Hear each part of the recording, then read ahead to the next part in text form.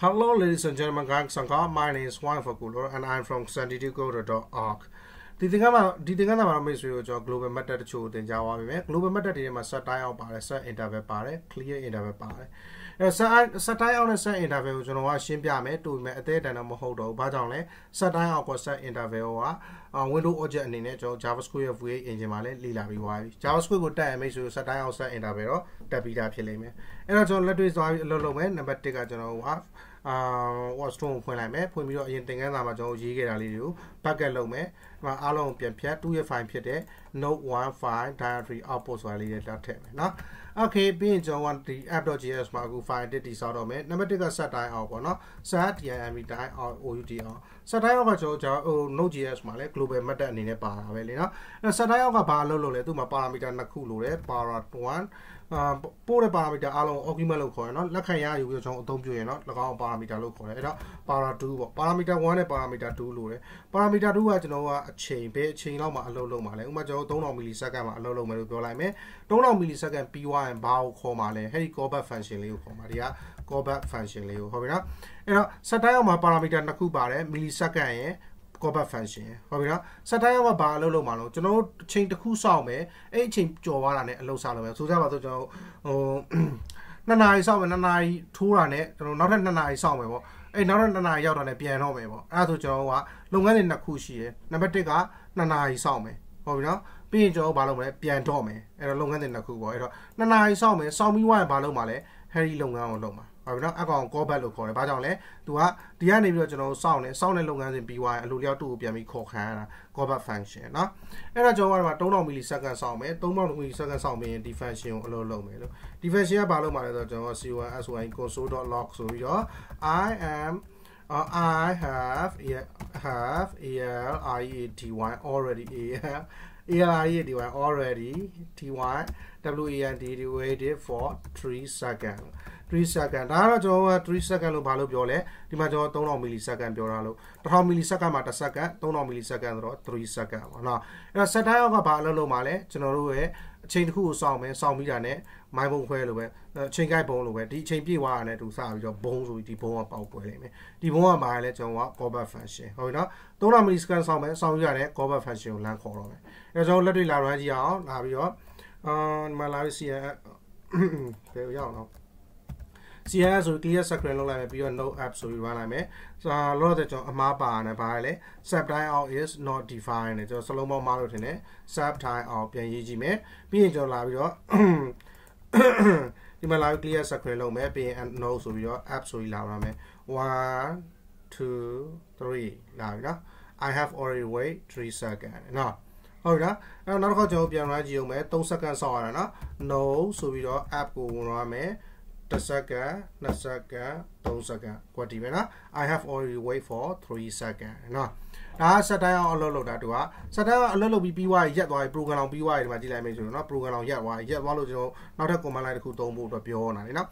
အဲ့တော့ set time အောင်ကဘယ်လိုအလုပ်လုပ်လဲတူကအချိန်တစ်ခုကိုစောင့်တယ်စောင့်ပြီးရင်အလုပ်တစ်ခုကိုလုပ်ပေးလိုက်တယ်ဒါပဲသူကိစ္စရှင်းပြီ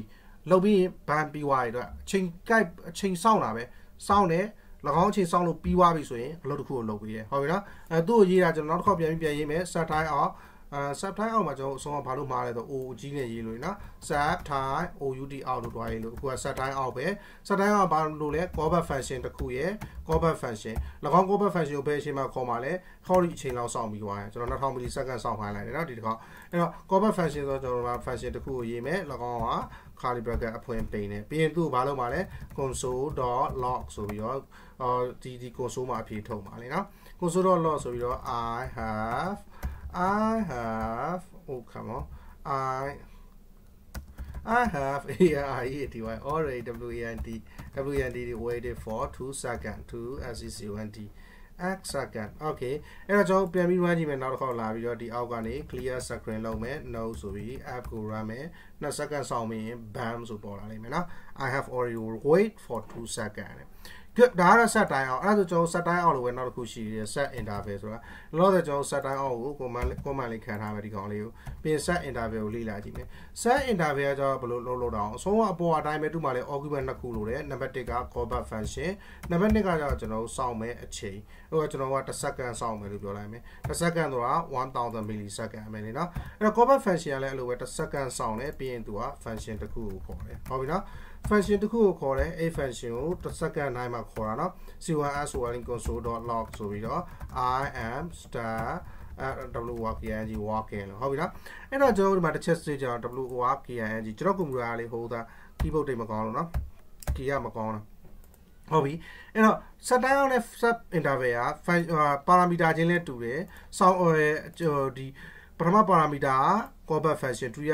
parameter က timer ပေါ့ ဟုတ်တယ်နော် set time out က set interval နှစ်ခုလုံးတူတယ်ဒါပေမဲ့သူ့ရဲ့နာမည်တော့မတူဒီကောင်က set time out ဒီကောင်က set interval set time out ကတစ်ခါအလုပ်လုပ်ပြီးရင်ပြီးပြီရက်သွားပြီ set interval ကတော့ interval တစ်ခုအတွင်းမှာအမြဲတမ်းအလုပ်လုပ်နေတယ်ဟုတ်တယ်နော်ဟိုသူက looping ပတ်နေတယ်လို့ပဲကျွန်တော်တို့ဘယ်အချိန်အတွင်းမှာ looping ပတ်မယ်ဆိုပြီးအချိန်ဝဲပြောထားလိုက်အဲ့ဒီအချိန်အတွင်းတိုင်းမှာတကောင်ခေါ်ပဲဥပမာပေါ့ကျွန်တော် 3စက္ကန့် looping ပတ်မယ်ပတ်ပြီးဒီအဖြေကိုထုတ်မယ်ဆိုအဲဆိုပထမ3စက္ကန့်ပတ်တယ်ပတ်ပြီးအဖြေထုတ်တယ်ပြီးရင်နောက်ထပ်3စက္ကန့်ပြန်စောင့်တယ်စောင့်ပြီးအဖြေပြန်ထုတ်တယ်သူက3စက္ကန့်စောင့်တယ်အဖြေထုတ်တယ်3စက္ကန့်ပြည့်တိုင်းပြည့်တိုင်းမှာအဖြေလမ်းထုတ်ပေးနေ set interval က interval လို့ပြောတဲ့အတိုင်းပဲ duration တစ်ခုအတွင်းမှာအဲတော့ looping ပတ်နေတယ်နော်ဟုတ်ပြီနော်အဲ့တော့ကျွန်တော်လာပြီးတော့အဖြေလာ run ကြည့်အောင်ဒီဘွားကောင် comment ခံထားတော့ဘွားကောင်အလုပ်လုပ်တော့မှမဟုတ်တော့ဘူးအော်ဘွားကောင်အဖြေထုတ်တော့မှမဟုတ်တော့ဘူးပြောတာနော် app ဆိုပြီးလာ run ကြည့်အဲ့တော့ တစ်စက္ကန့်တိုင်းမှာ I'm a star walking I'm a star walking တွေ့မလားစက်တိုက်ပြရတယ်ဘယ်မရက်ဘူးနော်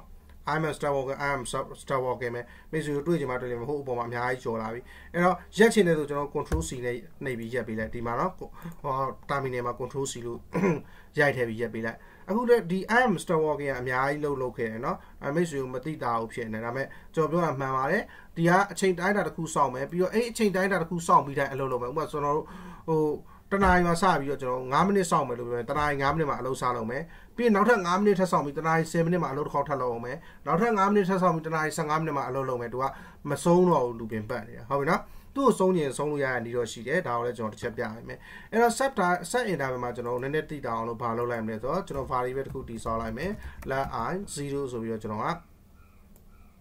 လက် i 0ဆိုပြီးတော့ဒီမှာမှလာပြီးတော့တစ်ခေါက်ခေါ်ခံရတိုင်းမှာ i ကိုကျွန်တော်ကတစ်တိုးသွားလိုက်မယ်နော်ပြီးမှကျွန်တော်က start walking ဆိုပြီးတော့တိတာအောင်ဆိုပြီးတော့ဒီမှာလာပြီးတော့ space bar ခံပြီး concatenate လုပ်လိုက်မယ် i ကိုဖြည့်ထုတ်လိုက်မယ်ဟုတ်ပြီနော်ပြီးရင်ကျွန်တော်ဒီမှာ i ကိုဖြည့်ထုတ်လဲရရနော်မိတ်ဆွေတို့ဒီမှာကျွန်တော်တစ်ချက်လာ run ပြမယ်ပြီးရင်ကျွန်တော်တစ်ခုလေးပြစရာလိုတယ် note ဆိုပြီးတော့ကျွန်တော် app ကိုလာ run မယ်အဲ့ဒါဆိုရင်ကျွန်တော်က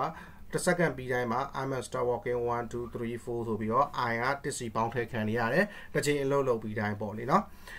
ရပြီအဲ့တော့ဒါတော့မိတ်ဆွေတို့တဘောပေါက်လောက်တယ်ဒါတော့တဘောမပေါက်လို့လည်းမရဘူးเนาะကျွန်တော်မှပြောချင်တဲ့နောက်တစ်ချက်ကလေးပါလဲဆိုတော့ဒီ Java Node.js မှာဆိုကျွန်တော်တို့ဒီကောင်နဲ့ပါအလုပ်လုပ်လို့ရတယ်ဘယ်ကောင်နဲ့လဲဆိုတော့ကျွန်တော်တို့ Baptist ကိုလာတုံးလို့ရတယ်ဒီလိုစာသားမတုံးဘဲနဲ့ကျွန်တော်တို့ဒီမှာလာပြီးသူ့စာ Baptist ကိုလာတုံးလို့ရတယ်ပြီးရင်အဲ့ Baptist ထဲမှာဆိုဘာလုပ်လို့ရပြီလဲကျွန်တော်တို့ dollar sign ရဲ့ curly bracket အတွဲတုံးပြီးတော့ကျွန်တော်တို့ရဲ့ variable ကိုလာထည့်လို့ရပြီ ဟုတ်ပြီနော် variable ကိုကျွန်တော် string နဲ့ကိုထည့်ရေးတဲ့ပုံစံလို့ဖြစ်သွားတာပေါ့လက်တွေ့လာ run ကြည့်မယ် node ဆိုပြီးတော့ app လို့ပြန် run ကြည့်ကျွန်တော်ပြောရတဲ့အတိုင်းအားလုံးအလုပ်ဖြစ်နေလိမ့်မယ်ဟုတ်ပြီနော်အဲ့တော့ variable ကို string နဲ့ကိုထည့်ရေးခြင်းလဲဆိုကျွန်တော် baptist တုံး baptist ဆိုတာကျွန်တော်တို့ဒီဟို tab ရဲ့အပေါ်က key လေးနော်အဲ့ tab လေးအဲ့ key လေးကိုတုံးပြီးရင် dollar sign နဲ့ကျွန်တော် variable ဖြစ်ကြောင်းကြီးညာပြီးတော့အဖြေထုတ်လိုက်အောင်နေမယ် အဲ့ဒါတစ်ချက်နောက်တစ်ချက်ကကျတော့ကျွန်တော်တို့မှာရက်ချင်ပြီပေါ့ဥမာ IR 20ရောက်သွားရင်ကျွန်တော်တို့ရက်မယ်ပေါ့ဥမာ IR 5ရောက်သွားရင်ရက်မယ်ပေါ့ရက်ချင်တယ်ဆိုကျွန်တော်တို့လာပြီးတော့ if အကယ်၍များ IR double equal 5လို့ကျွန်တော်လာပြောလို့ရတယ်နော် IR 5ဖြစ်သွားခဲ့တယ်ဆိုရင်ကျွန်တော်ဘာလုပ်တော့မလဲဒီကောင်ရက်တော့မယ်5မဖြစ်တွေ့ကျွန်တော်ဘာလုပ်နေအောင်မလဲ I က5ဖြစ်သွားရင်ဒီကောင်ရက်မယ်အာဥမာပေါ့ဆိုကြပါစို့ ဟိုဒီကောင်ရက်မယ်ဆိုတော့ကျွန်တော်ဘာလုပ်ပေးရမလဲဆိုတော့မဖြစ်မနေနံပါတ်1က ion မစစ်ခင်ဒီဒီ function တစ်ခုလုံးကိုကျွန်တော် variable တစ်ခုနဲ့တွားပြီးကြီးညာရမယ်ဟုတ်ပြီနော် variable တစ်ခုကိုကျွန်တော်တို့က my enter my enter လို့နာမည်ပေးလိုက်မယ်ဟုတ်ပြီနော်အခုကျွန်တော်ဘာလုပ်လိုက်တာလဲ function တစ်ခုလုံးတော့ဒီ set interval function တစ်ခုလုံး အားလုံးကိုကျွန်တော်ဒီထဲတော့ဒါ method လို့ခေါ်တာနော်ဟို node.js မှာ set interval method တစ်ခုလုံးကို enter ထဲတော့ထည့်လိုက်တယ်ဟုတ်ပြီနော်အဲ့တော့ကျွန်တော်ကအကယ်၍များ Harry item ဘိုးက double equal 5 9နဲ့ညီပြီဆိုရင်တော့ကျွန်တော်ဘာလုပ်တော့မလဲဘာလုပ်တော့မလဲဆိုတော့ကျွန်တော်တို့က CNE ရ clear interval ဆိုပြီး interval ကိုပြန်ဖြတ်တော့မယ်ဇက်တိုင်းအလုပ်လုပ်နေတာကိုကျွန်တော်ဖြတ်ပြတော့မယ်ဟုတ်နော်မညီတော့မညီသေးဘူးဆိုရင်9နဲ့မညီသေးတွေကျွန်တော်က console log ဆိုပြီးအဖြေထုတ်နေမယ်နော်အဲ့တော့လာပြီး run ကြည့်အောင် nod no app ဆိုပြီး run ကြည့်ရင်ဒီမှာလာပြီးတော့အာ1 2 3လေးငါးကြရမလားတော့ဘန်ဆိုရက်သွားပြီ။ဘာကြောင့်ငါးမလားလဲ။ငါးနဲ့ညီတာနဲ့ကျွန်တော်က clear interval ကိုခေါ်ပြီးတော့ဟဲ့ကျွန်တော်တို့ရဲ့ interval ကိုပြန်ရက်ပစ်လိုက်တယ် clear ဆိုပြီးတော့ဟုတ်နော်။ ဒါဆိုရင်မင်းဆိုတဘောပေါက်ဝင်လို့ထင်တယ်ကျွန်တော်တို့ဘာလုပ်ခဲ့တာလဲ sub time out ရဲ့ sub interval လေ့လာခဲ့တာ set interval မှာကျွန်တော် clear interval နဲ့ရက်တဲ့နီးဒီမှာ inter လို့နာမည်ပေးထားတဲ့ variable เนาะရက်တဲ့နီးရဲ့ပြီးရင်ကျွန်တော်ကဘာလဲ console မှာ variable နဲ့တွဲပြီး baptist တုံးပြီးအဖြေထုတ်တဲ့နီးရဲ့ပြီးတော့ကျွန်တော်က set interval က duration တစ်ခုတည်းမှာ set time အလုပ်လုပ်တာရဲ့ set time out ကကျတော့တစ်ချိန်ပဲအလုပ်လုပ်ပြီးပြီးသွားတာရဲ့ parameter အနေနဲ့ callback function နဲ့အချိန်တိုင်းအတာတစ်ခုလိုတယ်ဆိုတာပြောပြီးသွားပြီ